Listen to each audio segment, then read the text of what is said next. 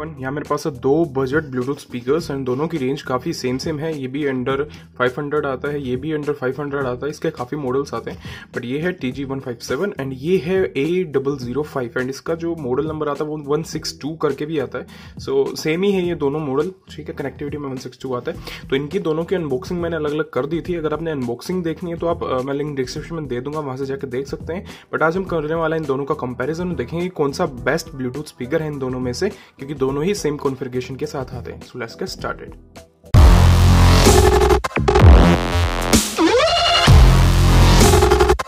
यहाँ पे दोनों मेरे पास स्पीकर आ चुके हैं। तो सबसे पहले बात करते हैं एसेसरीज की। तो एसेसरीज में दोनों में यूज़र मैनुअल आती है और इसमें एक आपको चार्जिंग केबल मिलती है। इसमें आपको चार्जिंग केबल के साथ ऑक्स केबल भी मिल जाती है। तो इसमें आपको एक एक्सरी ज़्यादा मिलती है यहाँ पे। अब मैं बात कर लेता हूँ दोनों की कॉन्फ़िगरेशन की, जो कि यूज़र मैनुअल दोनों के मेरे पास है यहाँ पे।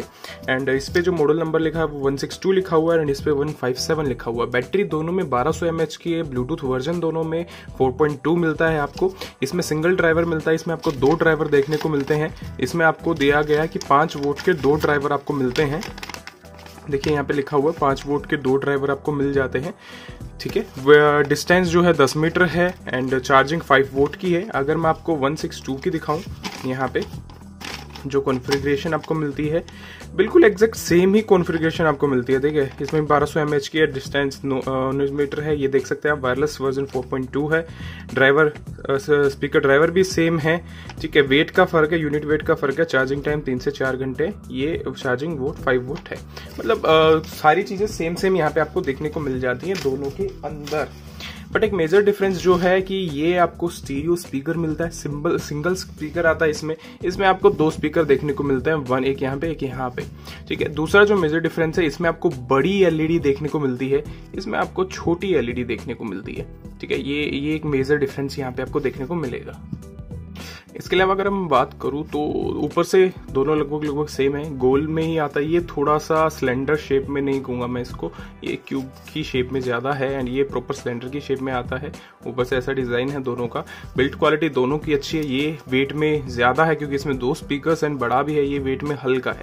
नीचे आपको दोनों में ही ये रस्सी दी गई है स्ट्रिप्स दी गई है जिसे आप इनको लटका सकते हैं। बिल्ड क्वालिटी दोनों की ही अच्छी है। इसके अलावा अगर मैं फंक्शनबिलिटी की बात करूँ तो यहाँ पे आपको इसकी, इसमें एक सबसे अच्छा फीचर 157 में ये है कि इसमें आपको मोड्स मिलते हैं इसकी एलईडी में। एलईडी है, ये मोड है एफ़ एम ब्लूटूथ रेडियो ठीक है? जो भी आप इसमें इसमें अवेलेबल आप चला सकते हैं। यहाँ पे आपको चार्जिंग स्लोट मिलता है ओक्स मिलती है यूएसबी मिलता है माइक्रो एस कार्ड मिलता है बट यहाँ पे आपको एक चीज़ नहीं मिलती है, यहाँ पे आपको ओक्स का ऑप्शन नहीं मिलता इस स्पीकर में। तो इस स्पीकर में दो चीज़ें कम है यहाँ पे। तीन चीज़ें बेसिकली अभी तक कम है। एक तो सिंगल स्पीकर है, दूसरा इसमें आपको ओक्स नहीं मिलती, तीसरा इसमें आपको इसकी जो एलईडी है उसमें सिर्फ़ एक ही मोड मिलता है ऑन एंड ऑफ़ का, इसके अलावा कोई मोड नहीं मिलता है। तो चलिए दोनों को एक बार स्टार्ट कर लेते हैं एंड देखते हैं कैसा, क्या लुकिंग में डिफरेंस आता है। ब्लूटूथ मोड ब्लूटूथ मोड तो देखिए ये इसकी एलईडी है। इसकी एलईडी अगर मैं देखूँ तो इसकी एलईडी भी कम है। एंड इसमें सिर्फ़ दो ही एलईडी यहाँ पे आपको मिलती है। एंड इसमें दो ही मोड आपको देखने को मिलते हैं। एक आ, ये दूसरा ये। ठीक है? बट इसमें देखिए इसमें एलईडी की अगर मैं मोड की बात करूँ तो इसमें आपको काफ़ी सारे मोड्स मिल जाते हैं।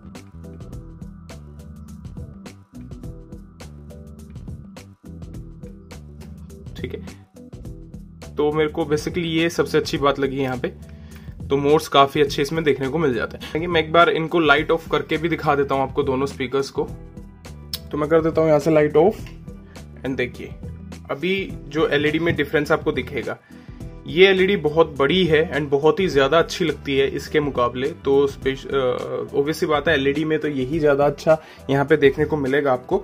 एंड एक मेजर डिफरेंस जो यहाँ पे है, वो एलईडी का अब बात करते हैं इन दोनों की आवाज़ की। ये सिंगल है डबल है तो ऑब्वियसली बात है इसमें ज़्यादा वॉल्यूम होनी चाहिए बट देखेंगे दोनों को प्ले करके। मैं एक बार कनेक्ट कर लेता हूँ इसको अपने लैपटॉप के साथ। दोनों को वन बाय वन हम फिर प्ले करेंगे और बेसिक सा डिफरेंस देखने को मिलेगा यहाँ पे। ओके okay, तो मैंने कर लिया यहाँ पे कनेक्ट इसको 157 को एंड मैं स्पीकर की दोनों की इस तरफ़ ही फेस रख रहा हूँ ताकि प्रॉपर वॉल्यूम आए। तो इस पहले हम इसमें प्ले करेंगे एंड ये मैंने प्ले किया।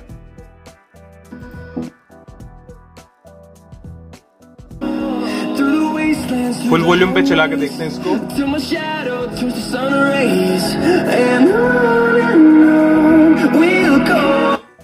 ये फुल है।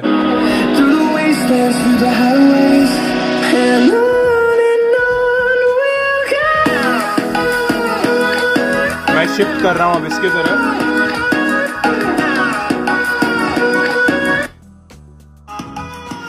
ये इसकी तरफ़ आ गया मैं अब इसकी वॉल्यूम फुल करके देखता हूँ अभी।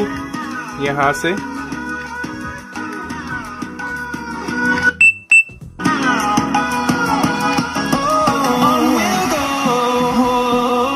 मैं फिर से शिफ्ट कर रहा हूँ।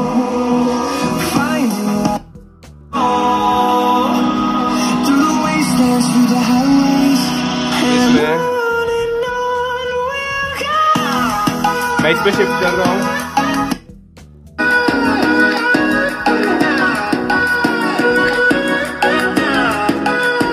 अगेन इस पे शिफ्ट कर रहा हूँ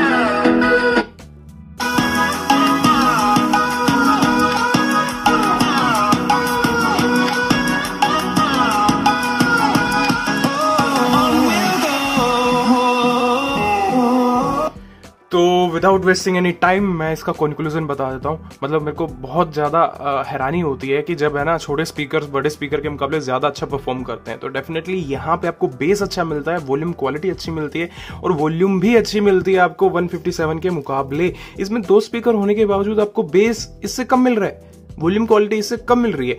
वॉल्यूम लाउडनेस दोनों की सेम है। ठीक है? इसमें सिंगल स्पीकर है, ये डबल स्पीकर होने के बावजूद लाउडनेस दोनों की सेम है। तो मेरे हिसाब से इन्होंने कॉम्प्रोमाइज किया है इसके साथ, क्योंकि अगर सिर्फ़ स्पीकर की स्पीकर होता तो मेरे हिसाब से बेटर वॉइस होती, क्योंकि इन्होंने एलईडी दी है अच्छे वाली। तो इसी वजह से इन्होंने स्पीकर के साथ यहाँ पे कॉम्प्रोमाइज किया हुआ है। तो बेसिकली एक कंक्लूजन मैं आपको बता देता हूँ ओवर एंड ऑल जितना भी मैंने देखा है, समझा है।